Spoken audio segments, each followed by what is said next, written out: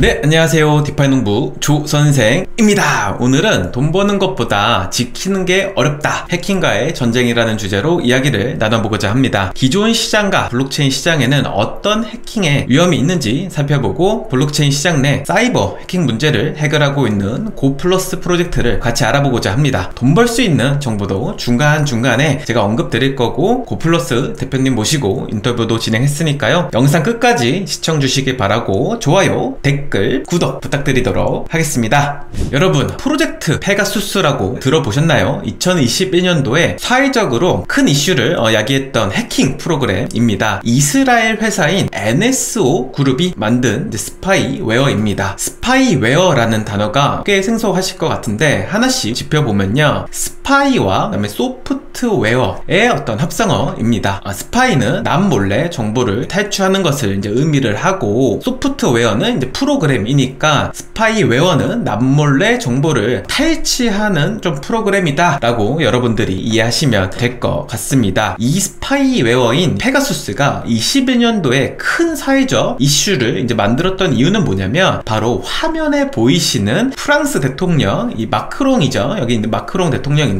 이라크 그리고 남아공 대통령의 휴대폰을 이 페가수스가 이제 해킹을 한 것이 좀 드러났습니다. 그러다 보니까 페가수스가 이 초강력 해킹 프로그램이다. 아이폰도 해킹을 하고 그 다음에 카카오톡도 해킹할 수 있다 라고 세상에 알려지면서 굉장히 논란을 일으켰습니다. 카카오까지는 좀 그럴 수 있다 라고 생각을 하는데 우리 이제 코인 투자를 이제 하시는 분들이 자주 사용하는 믿고 있었던 이 텔레그램까지도 뚫을 수 있다고 하다 보니까 어떻게 페가수스가 이걸 또 가능케 하는 것이냐 이런 것이 이제 굉장히 좀 궁금해지기 좀 시작했습니다. 그래서 하나씩 좀 짚어보면 페가수스는 zero click 공격이라는 걸 이제 사용한다고 합니다. 이 zero click 공격은 어떤 개념이냐면 기존까지만 하더라도 이 메신저나 이메일 통해서 링크를 클릭하면 프로그램이 이제 자동 막 설치가 되고 그 다음에 이미지나 동영상 같은 거 다운 받아져서 컴퓨터나 휴대폰이 이제 해킹되는 것이 일반적 인데 페가수스가 하는 이 zero click 공격은요 그냥 메시지만 받으면은 그냥 감염이 되는 것입니다. 제 의지와는 상관없이 누군가 제 핸드폰 핸드폰에 메시지를 딱 보내는 순간 그 핸드폰은 감염이 되지는 거죠. 그래서 해외에서는 이거 굉장히 더러운 프로그램이다 라고 하면서 강하게 이제 규제해야 된다는 목소리가 높아지고 있습니다. 그러다 보니 가장 촉각을 세우고 있는 국가가 있습니다. 바로 미국이죠. 강력한 보안을 자랑하는 이 아이폰이 페가수스에 취약하다는 게 세상에 알려지면서 이제 애플은 이 NSO 즉 이스라엘 회사인 NSO에 접근 금지 명령을 신청했습니다. 그러니까 너네는 이제 앞으로 애플과 관련된 모든 정보의 차단 금지다라고 하면서 접근 금지 명령을 이제 신청을 했고요. 예전 페이스북으로 알려졌던 이 메타죠. 소셜 네트워크 중에 이제 가장 큰 회사인 이 메타가 소송을 통해서 페가수스 코드를 받아보게 되었습니다. 그래서 화면에 보시는 것처럼 여기 애플이 소송에서 승리했다. 이번 연도 1월 25일에 나온 기사고 그 다음에 미국에서 NSO 그룹한테 이 스파이웨어 코드를 왓츠앱 즉 메타 메타한테 넘겨서 얘네가 검토할 수 있도록 해라 라고 이제 지난달에 명령을 했습니다 여담이지만 이 메타가 이제 갖고 있는 메신저가 왓츠앱이고 그 다음 페가수스가 왓츠앱 이제 공격을 했기 때문에 메타가 이제 이 코드를 이제 받아서 좀 분석할 수 있는 하나의 이제 꺼리가 좀 생긴 겁니다 그래서 미국이 이걸 승인해 줬고 그러면서 사람들이 이제 하는 얘기는 뭐냐면 미국이 지금 이거 기술 이전하는 거다 라고 하면서 시장에 루머가 돌기도 했어요 그러다 보니까 이 메타 주식이 이제 갑자기 이제 올랐던 이제 사건도 있었습니다. 이 정도로 우리가 사이버 해킹에 굉장히 이제 취약하다. 즉 모든 게 한순간에 우리 무너질 수 있다라는 거를 좀 인지할 필요가 있을 것 같습니다. 네, 이 사이버 해킹은 이제 블록체인 시장이냐 아니냐에 따라서 개념이 다른 게 이제 아닙니다. 동일한 유형의 공격을 이제 활용해서 사람들에게 이제 금전적, 이제 정신적 이제 피해를 입히는 거죠. 사이버 해킹의 종류를 살펴보면 어, 총 이제 다섯 가지로 이제 구분할 수 있습니다. malware, 그다음에 랜섬웨어, 그 다음에 피싱, 그 다음에 뭐 디도스, espionage 등이 있는데요. 잠깐씩 알아보면 이 malware는 이제 컴퓨터나 이 네트워크를 이제 집단 감염시켜서 이제 정보를 이제 탈취하는 거고 이 랜섬웨어는 컴퓨터를 이제 인질 삼아 가지고 이제 금전 요구하는 겁니다. 갑자기 화면에서 아무것도 이제 못하게 탁 멈춰버립니다. 그리고 메시지가 하나 딱 뜨죠. 그래서 비트코인 얼마 보내면 이거 풀어줄게 라고 하면서 회사를 상대로 이제 인질 잡아서 금전 요구하는 게 바로 랜섬웨어고 피싱은 이제 이메일이나 메신저 통해서 이제 링크 클릭한 다음에 정보를 이제 탈취하는 거. 그다음에 DDoS는 그 좀비 PC들을 활용해 가지고 순간적으로 많은 트래픽들을 하나의 웹사이트에 이제 몰아 가지고 서버를 다운시키는 테러형의 어떤 공격이고 이 espionage는 아무것도 이제 안 하고 이제 몰래 이렇게 지켜보는 겁니다. 그러면서 이제 검열하는 용도로 이제 사용하는 사이버 해킹의 이제 유형이라고 좀 합니다. 이 사이버 해킹 유형들을 좀 블록체인 시장으로 좀 대입해 보면 얼추 다 이용되는 것 같습니다. 이제 크게 저는 이제 두 가지로 좀 구분할 수 있었는데요. 하나씩 좀 살펴보면 바로 social attack과 그 다음에 해킹입니다. social attack은 이 메시지로 블록체인 지식이 좀 부족한 사람들한테 이제 private key를 이제 탈취하거나 아니면 private key를 좀 달라고 해서 자산을 탈취하거나 어, 자신들이 너가 나한테 토큰을 10개 보내면 우리가 지금 마케팅 기간이기 때문에 20개로 돌려줄게 라고 하면서 가짜 이제 마케팅 통해서 사람들의 토큰을 탈취하는 이제 방법이 바로 이제 social attack이다 라고 생각할 수 있습니다. 해킹은 아까 본 다섯 가지 방법으로 이제 금전 탈취하는 것을 말하고 대표적으로 이제 블록체인 시장에 쓰이는 이제 해킹의 종류를 좀 살펴보면요. 이런 게 있습니다. social attack 중에 이제 가장 흔한 방법이기도 하죠. 바로 가짜 페이지를 만들어 놓고서요. 이더리움, 그 다음 비트코인, 그 다음 여러 가지 토큰 등을 선착순으로 지급한다 라고 홍보하면서 웹 사이트에 이제 지갑을 연결하게 어, 유도합니다. 만약 내 지갑이 이 웹사이트랑 연결이 이제 되면요. 이 웹사이트는 자산을 이전할 수 있는 권한을 넘겨받아갖고 자기가 맘대로 개인의 자산을 이렇게 옮기는 거죠. 유명 인사들이 이런 비탈릭이나 뭐 일론 머스크 등의 어떤 사진을 좀 넣어가지고 사람들한테 좀 신뢰를 높인 다음에 사람들의 마음을 조급하기 위해서 이 허리업이라는 이런 단어들을 이제 자꾸 써가지고 몇 명 이제 한정으로만 뭐 토큰 나눠준다 뭐 이렇게 해서 사람 들을 막 동요시킵니다.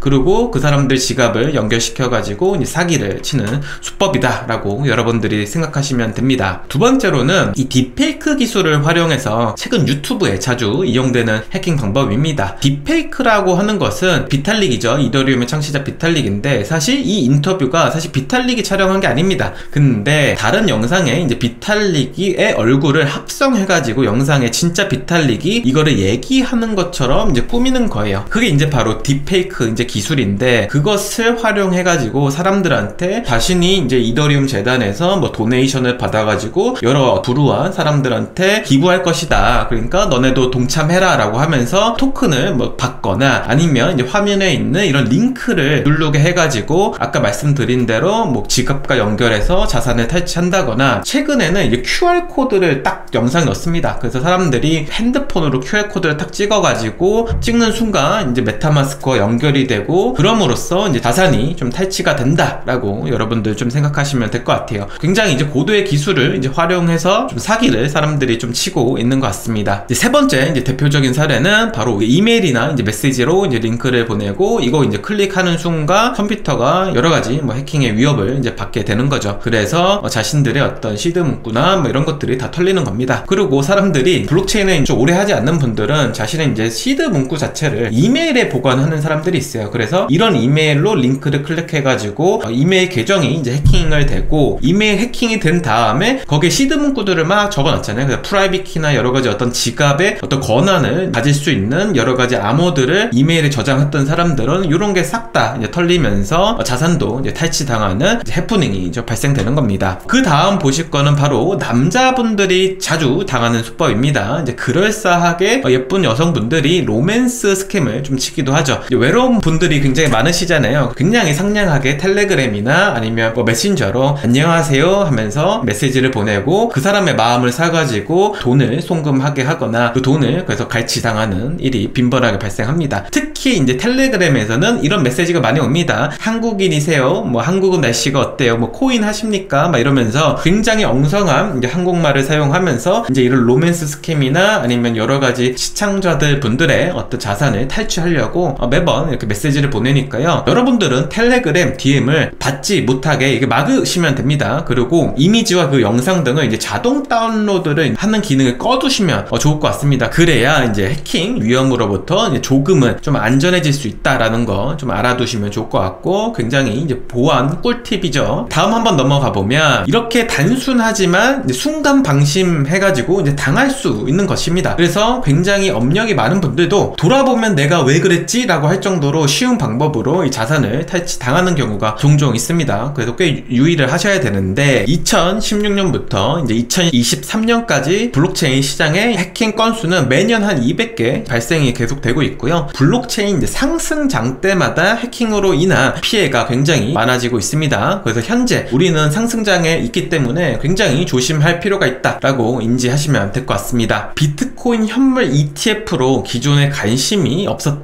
분들이 블록체인 시장에 한 명씩 들어오고 계십니다. 그래서 이제 보안 이제 의식이 이제 필요한 시점인데 최근 나온 기사를 살펴보면요. 바이낸스 유저가 30%가 증가됐다. 2023년도 12월 달에 나온 기사인데 아마도 이제 블록체인 불장이 사실 2023년 10월부터 좀 피부로 꽤 많이 와닿았었거든요. 그때 이제 많이 유입이 된 것 같고 자신이 직접 이제 관리해야 하는 이제 메타마스크를 활용해서 이제 금융 활동하는 on-chain 유저들도 우측에 이제 보시는 것처럼 2023년도에 한 6천만 명 정도 이제 증가됐다라는 걸 우리가 좀 알 수 있습니다. 이게 어떤 것을 의미하냐면 해킹으로 금전 피해를 당할 사람들도 많아졌다라는 거예요. 왜냐하면 블록체인 시장에 들어와서 교육을 받고 이걸 하는 게 아니라 자기가 리서치하고 자기가 공부해서 하는 거기 때문에 특히 돈 버는 것에 대한 공부는 열심히 하시는데 돈을 지키는 공부는 사실 많이 안 하거든요. 그러다 보니까 해킹을 많이 당하실 수 있는 것 같습니다. 그래서 우리가 이제 현재 블록체인 대중화 시점에 서 있는데 여기서 한 가지 투자 아이디어를 하나 얻을 수 있습니다. 바로 블록체인 시장 내 보안 솔루션을 이제 개발을 하거나 아니면 인프라를 좀 구축하는 프로젝트가 뭐가 있는지 좀 살펴보고 우리가 투자할 수 있는 거 있으면은 그것을 한번 들여다봐야 될 때가 아닌가라고 저는 좀 생각을 합니다. 왜냐면 역사에서 좀 지혜를 좀 찾아보면 될 것 같습니다. 이제 30년 전을 좀 거슬러 올라가면요. 천리안 시절이 있었죠. 이제 모뎀으로 사진 다운받고 했던 어, 그런 시절이 있습니다. 이 시절에서 이제 초고속 인터넷이라고 하는 이제 메가패스로 이제 이동을 하게 됐고 많은 집에 이제 보급된 이제 PC로 모든 사람들이 이제 인터넷 활동을 좀 할 수 있었던 게 바로 30년 전입니다. 이때 가장 크게 성장한 산업이 뭐냐라고 하면은 바로 온라인 보안 산업이에요. 대표적으로 우리나라에는 화면에 보시는 알약을 만든 이 안랩이라고 하는 회사가 있습니다. 95년도에 이제 설립되었는데 이제 매출이 5억이었어요. 그때 당시. 근데 닷컴 버블이었던 2000년대로 오면서 매출이 130억 원으로 상승했고요. 그 다음에 2010년도 이후에는 1300억이 넘는 매출을 달성하면서 굉장히 빠른 성장을 보이고 있습니다. 2024년도 4월달 2,300억 원이 넘는 매출을 보이고 있습니다. 즉 30년 동안 400배 이상을 성장한 거예요. 왜 크게 성장했냐라고 생각해보면 단순합니다. 바로 인터넷 세상이 도래했기 때문이죠. 이걸 다시 블록체인 시장에 접목을 하면 블록체인 대중화가 일어나는 이 시점에 또 투자할 만한 좀 섹터가 뭐가 있냐라고 하면 바로 이 보안 섹터인 것입니다. 지난 5년간 연간 성장률도 이제 CAGR이라고 하죠. 바로 이제 15%씩 꾸준히 이제 증가했던 것 같고 만약에 이제 블록체인 산업 내 사이버 이제 해킹 그다음에 온라인 보안 이 데이터나 이제 인프라를 이제 개발하는 프로젝트가 있다면 이런 기존 시장처럼 큰 성장 잠재력이 있을 수 있다는 겁니다. 그럼 이 시장에서 그럼 누가 있냐라고 살펴봐야 되는데 오늘 여러분과 얘기 나눌 게 바로 이 고플러스 이제 프로젝트입니다. 이 블록체인 이제 보안 layer를 이제 구축하고 있는 팀입니다. 뭐 자신들이 이제 100개가 넘는 이제 해킹 또는 scam 뭐 케이 스들을 막 분석해가지고 보안 리스크를 측정 가능한 데이터를 이렇게 많이 모아놨어요. 또 이거를 활용해서 고플러스 데이터 기반으로 앱들을 사람들이 만들 수 있게 하고 있고 그 다음에 데이터를 이제 제공하면서 이용료를 따박따박 이제 받는 비즈니스로 어, 만들고 있습니다. 현재 1만 개의 회사에 데이터를 이제 제공 중이고 하루에 한 200만 API 콜이 일어날 정도로 꽤 잘 하고 있는 이제 회사입니다. 제가 2월 달이죠. 이제 미국에서 이제 있었던 이제 ETH Denver라고 하는 행사가 있습니다. 그때 고플러스 이제 행사에 제가 방문을 했었고 고플러스가 어떤 좀 비전을 갖고 있고 어떤 계획으로 좀 성장할 건지 너무 궁금해가지고 이 컨퍼런스에 참여해서 뭐 계속적으로 좀 이렇게 얘기를 좀 듣기는 했습니다. 비즈니스적으로는 굉장히 잘 하고 있는 것으로 좀 파악이 됐어요. 이 화면에 보시는 요분 있잖아요. 형광색 옷을 입고 있는 분이 바로 이제 에스킬이라고 하는 대표님이고 이 대표님이 이 아마존의 이제 product manager인 이 존하고 같이 Web2와 이제 Web3 보안 솔루션을 어떤 방향으로 개발을 해야 되는지를 서로 이야기하고 있었습니다. 그래서 이 자리에서 꽤나 이제 흥미로워서 이 에스킬 대표님한테 우리 한번 인터뷰하면 안 돼요? 라고 하면서 제가 번호도 따고 지금 이 영상 뒤편에 이제 나올 인터뷰를 제가 어, 만들었습니다. 화면 보이시죠? 여기 제가 가서 인증샷까지 이렇게 찍어왔다. 고플러스는 바이낸스 이제 랩스가 이제 투자했습니다. private round에 투자를 받았습니다. 보통 바이낸스 랩스는 브랜드가 굉장히 강력하기 때문에 보통 시드 투자 lead를 많이 하고 토큰을 굉장히 많이 가져가는데 이번에는 private 고플러스는 이 private 투자를 lead했다고 해요. 근데 재밌게도 private 투자에 혼자 투자 다 했습니다. 이게 behind story가 있는데 바이낸스 랩스 말고 이 바이낸스가 이 고플러스를 사실 인수하려고 했대요. 근데 인수를 이제 하려고 하다가 좀 인수가 이제 안 되고 나서 투자를 혼자 다 했다고 합니다. 바이낸스도 사실 이 비즈니스가 굉장히 탐이 났던 것 같아요. 기존에 사실 원래 비즈니스가 활발했을 때 원래 회사도 사실 인수를 했었거든요. 바이낸스가 이것처럼 보안 회사도 향후 한 몇 년 동안 어, 굉장히 큰 성장할 수 있을 것 같다라고 생각해가지고 인수를 하려다 실패하니까 그냥 투자라도 하자라고 해서 돈을 넣은 것 같습니다. 고플러스는 이제 보안 리스크를 제공하는 layer다라고 제가 말씀드렸는데 하나씩 살펴보면요. 바로 여기 토큰 security API, 그 다음에 뭐 NFT security API, 뭐 smart contract security, dApp security, 실시간 리스크 알람 등 총 8개 카테고리의 이제 데이터를 이제 제공하고 있는 걸 이제 알 수 있습니다. 그래서 1만 개 회사에 하루에 이제 100만 이제 call이 발생할 정도로 어, 데이터가 굉장히 인기 있다라고 여러분들 생각하시면 될 것 같고요. 한 예로 바로 토큰 security API를 살펴보면요. 여기 보이시죠? 한 160만 개 토큰을 이제 분석해가지고 77만 개 이제 리스크가 이제 존재하는 토큰을 이제 구별해 냈다. 그래서 사람들이 토큰을 이제 구매하기 전에 이런 정보들을 알려주면서 사람들이 해킹 혹은 불미스러운 경험을 안 할 수 있게 도와준다라고 여러분들은 생각하시면 될 것 같습니다. 이제 고플러스는 유니스왑 그 다음에 코인게코 여러 가지 이제 dApp과 이제 대시보드에 적용한 이제 사례들이 있습니다. 화면에 이제 보시는 것처럼 토큰이 어떤 리스크를 갖고 있는지 측정해서 보여주는 거예요. 그래서 하나씩 보면요. 이게 보이시죠? sell tax라고 합니다. 토큰을 시장에 이제 판매를 할 때 이 토큰을 만든 사람이 5.7%의 수익을 가져가는 거예요. 그렇기 때문에 이걸 모르고 이제 토큰을 사게 되면은 확정적으로 5% 손해를 보는 거잖아요. 그렇기 때문에 이런 것들이 있는지 살펴주는 거고 뭐 유니스왑에 제공하고 있는 솔루션 중에 하나인데 뭐냐면 이 토큰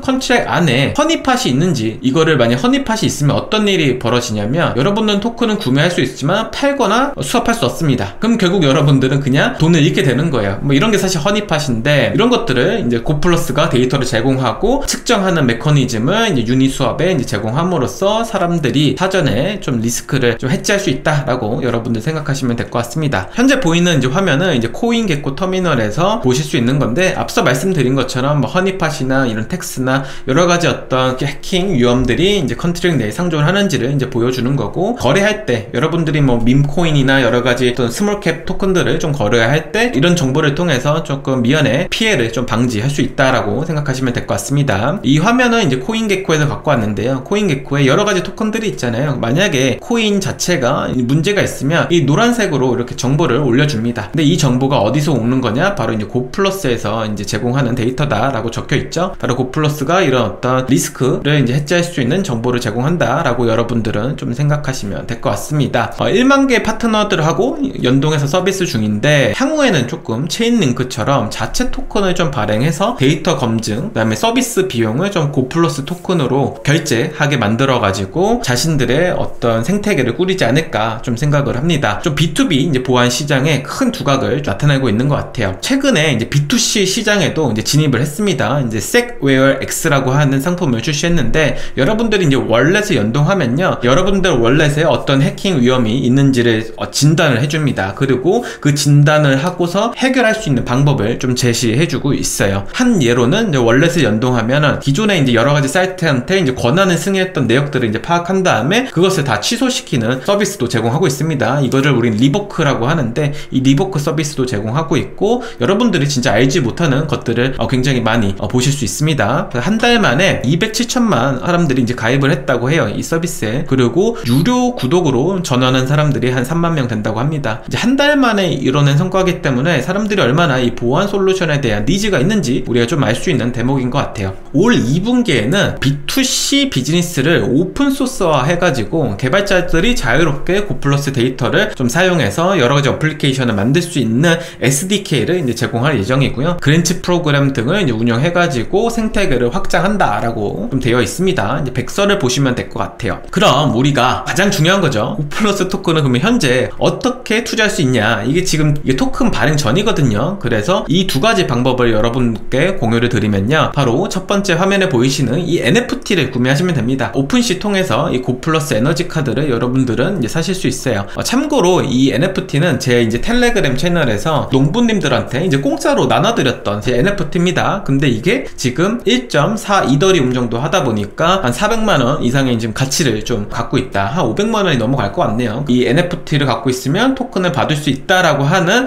사실 상상 때문에 이 가격이 굉장히 많이 올라간 것 같아요. 어, 최근에 이제 airdrop meta를 보면은 이런 NFT를 갖고 있으면 토큰 주는 게 일반적이거든요. 근데 안 줄 수도 있습니다. 그렇기 때문에 여러분들은 좀 유의하실 필요는 있고요. 두 번째로 나는 NFT가 좀 부담스럽다라고 하는 분들은 이 SecWare X에 방문하셔가지고 지갑을 연결하시면요. 여러분들이 보안에 대한 퀴즈를 푸실 수 있습니다. 그러면 그 퀴즈를 풀고 이거 지식도 함양하고 또 quest를 완료하면은 이제 포인트를 줍니다. 그러면 그 포인트를 얻어가지고 추후에 이제 GoPlus가 토큰이 발행이 되면 그 포인트가 이제 토큰으로 이제 전환이 어, 된다라는 게 어떻게 보면 기정사실이기 때문에 여러분들은 이 방법으로 이제 포인트를 미리미리 얻으실 수 있으니까 한번 해보시면 좋을 것 같습니다. 이 영상 제가 고정 댓글로 제 referral 링크를 넣어 놓을 생각입니다. 그 링크 통해서 여러분들이 가입을 하시면요. 10%씩 더 받을 수 있습니다. 그렇기 때문에 여러분들 많은 참여 부탁드리고요. 어, 자신이 그냥 self referral 만약에 하시는 분들은 10%를 얻을 수 없습니다. 그렇기 때문에 그냥 제 referral 사용해 주시면 너무 감사할 것 같고 이 referral 시스템은 이 크리에이터들한테 굉장히 이제 큰 힘이 되니까 많이들 좀 부탁드리도록 할게요. 저는 개인적으로 GoPlus가 아, 꽤 좋은 거래소에 상장되지 않을까 싶습니다. 비즈니스가 너무 명확하고요. 그 다음에 유저들도 굉장히 빠르게 모이고 있습니다. 그리고 토큰의 사용처도 좀 명확하다 보니까 나중에 체인 링크처럼 잘 될 프로젝트다라고 좀 생각이 되니까 꼭 하시기 바랍니다.